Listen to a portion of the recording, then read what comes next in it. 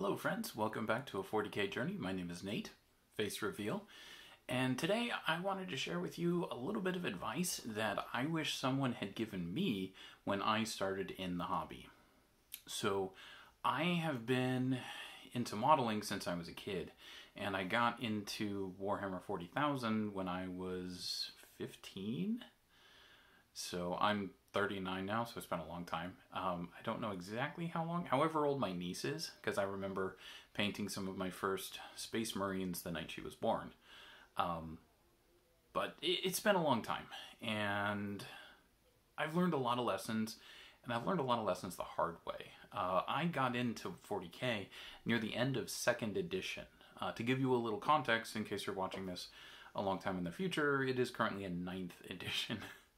So it's undergone a lot of changes, um, and I have too. And part of the reason I am doing this 40k journey is to document some of the changes uh, I've made and some of the lessons I've learned. But anyway, I want to impart some wisdom to you so you can avoid some of the mistakes I have made. Save yourself some time, some effort, and some money. Uh, number one, start small with paints. Um, I took a hiatus from 40K a few years ago and I got back into it uh, about a year and a half ago and I went paint crazy. Like I got way the hell more paints than I needed. And the truth is, if you're just getting started, you don't need that many paints. Like five or six should do you perfectly well. And both uh, Games Workshop and several other companies sell starter paint sets or paint sets that are designed for specific things. Like if you know you're going to be painting Ultramarines or Necrons, Games Workshop has two sets specifically designed to paint those things. Um, Vallejo has a bunch of different sets geared towards specific military subjects. So if you're looking to paint like World War II German tanks or World War II uh, American aircraft. There are paint sets specifically designed for those. But the point is, you don't need to go out and drop you know, several hundred dollars on like the complete paint set. It's completely unnecessary, especially for companies like Games Workshop, which have gigantic paint lines. Now, don't get me wrong, I like Citadel paints, and I have more than a few right behind me. See, uh, I, I like Citadel paints, but I'll be the first one to tell you you don't need all of them. So, uh, speaking of paints, uh, don't do what I did and start your painting journey with craft paints.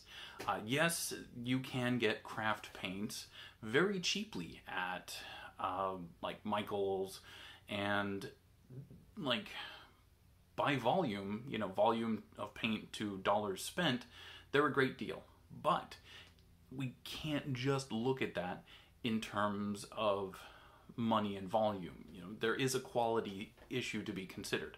Now, don't get me wrong, you absolutely can paint uh, miniatures with craft paints. I did it for years.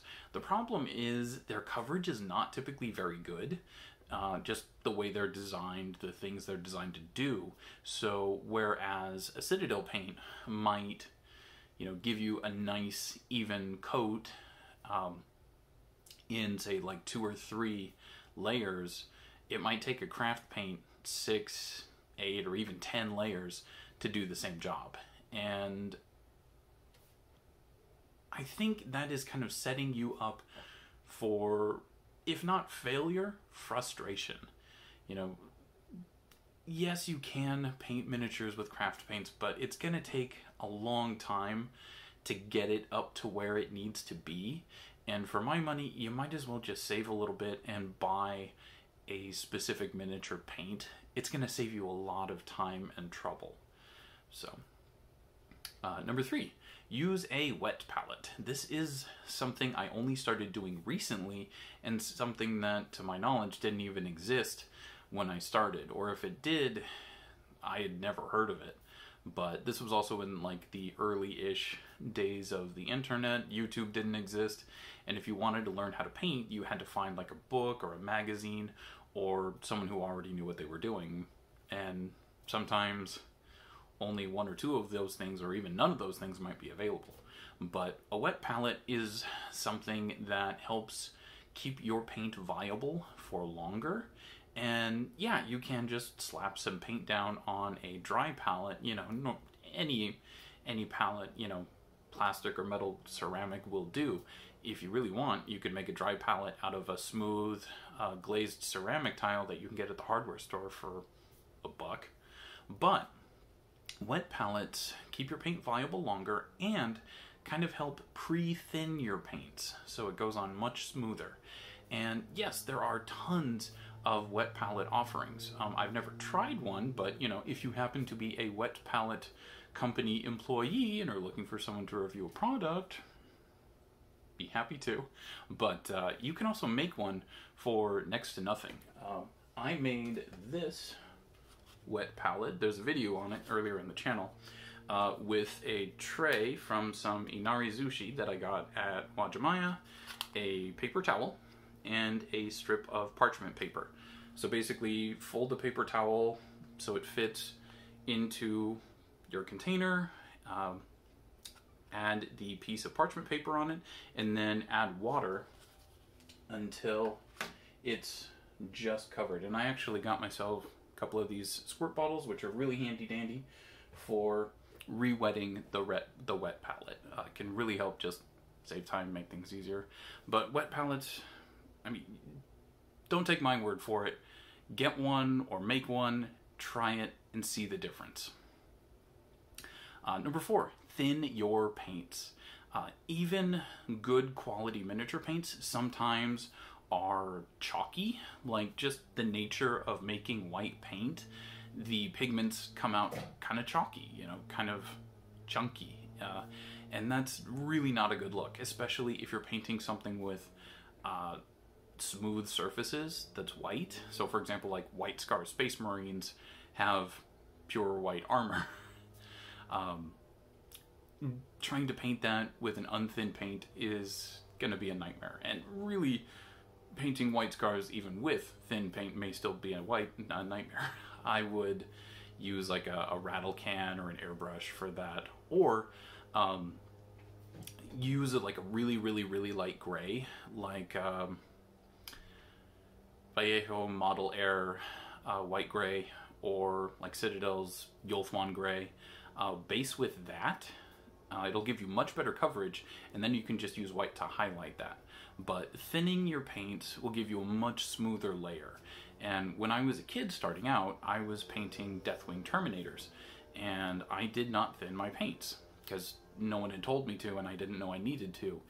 And my models looked super chunky because they had just clumps of paint on them. And at the time I thought, oh, it's cool. They look like they're made out of stone. No, no, younger me, they just look bad. So thin your paints, whether it's with water or thinner medium or like Lahmian medium or contrast medium. There's a bunch of different things you can thin your paints with, but very few paints can be used straight out of the bottle. And of course, there are exceptions, like the Vallejo Airline. Um, I painted uh, 135 scale tanks with those, paint it right out of the bottle. It's already pre-thinned, works pretty well. I wouldn't use it for all applications, but um, number five, don't be afraid of mixing your paints. I spent a very long time and a lot of money buying a gajillion different paints because I had this idea that I deplored mixing paints. I don't really know why in retrospect, just that I did. And I've come to realize that's kind of stupid. Like, if you had a separate bottle of paint for every single like hue and shade uh, you put on a model, you would have, you know, a shelf two miles high, jammed with paints. It would be totally impractical when you could just add a little bit of white or a little bit of yellow or, you know, a little bit of purple or whatever to your color to slightly change it to where it needs to be. So don't be afraid of mixing your paints. This is especially true if, like me, you kind of like the studio schemes. Uh, the Games Workshop studio, formerly called the Heavy Metal team, uh, I've always loved their work, but it has recently come to my attention, and you know, it, it may seem kind of obvious, but you know, Um, a lot of their schemes involve heavily mixed paint, uh, involve like glazing, mixing multiple different colors. You know, they mix paint, and if the pros mix paint, you should at least try mixing paint. You know, paints are different, so depending on what you have, your results may vary. So experiment, try out a little bit, see how they work. But bottom line, don't be afraid of mixing your paints. Uh, number six, sprue goo. This is super useful. It involves uh, garbage, basically.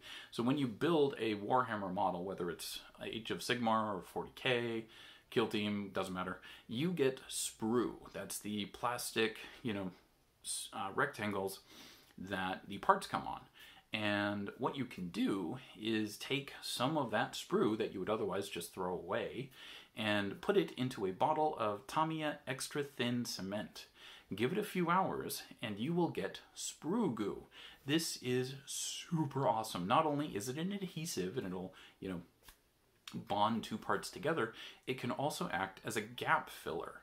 So rather than having an ugly fissure running down your model, you can just run some sprue goo in it, sand it down, shave it down with your hobby knife, and there you go, like it was never there.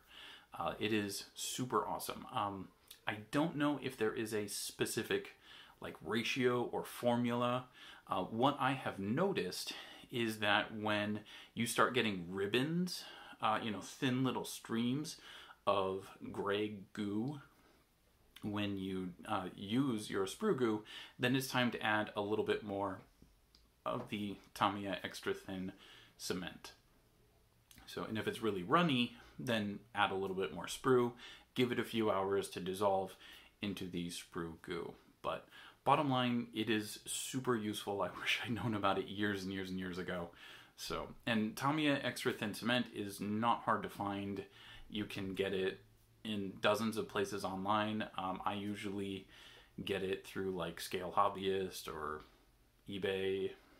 So, plenty of places. Um, number seven, don't start with showpieces. And believe me, I get the urge to want to grab some really cool showpieces like big monster models or big tanks or you know big uh, hero HQ models. They look fan freaking tastic. But if you are just starting out or even if you're not just starting out but you're trying some new, you know, paint lines, like maybe you're trying to get into using army painter instead of citadel or vice versa or whatever. Or if you are trying new some new techniques like if you want to try i don't know wet blending or glazing or non-metallic metals don't try it on your really big really expensive showpiece. You know try it out on some little garbage mini that you 3d print or if you have a, a local games workshop store they run a free miniature every month all you need to do is ask you know get that and experiment on that don't do it on your showpiece. Trust me when I say you're probably going to regret it. But that leads us to our last point. Number eight, nothing is permanent on your model unless you want it to be. You've probably heard me say this in previous videos, and it really is true. If you are not happy with the way a model turns out after you paint it, strip the paint off and paint it again. You can do that a lot of times before maybe you know some of the solvents you've used maybe dissolve some of the detail or whatever. I, I don't do it terribly often myself but i know it is certainly possible. And if you have just like a thin layer of paint then just paint over it. But you know you don't have to settle with your paint job you can have the paint job you wanted it may take time probably will take time uh, it'll take practice may involve more than a little frustration, but it's not permanent unless you want it to be. So don't be afraid of stripping down models and starting again. Don't feel like you have to get a whole new model and start from the ground up. You don't. So those are a few pieces of advice I wish someone had told me when I was first starting. I hope this has been helpful to you. And if you would like more videos like this, please let me know down in the comments. I'd appreciate your feedback. So thank you once again for joining me on this next step in a 40k journey. Please like and subscribe if you've enjoyed the video and consider supporting the channel on Patreon.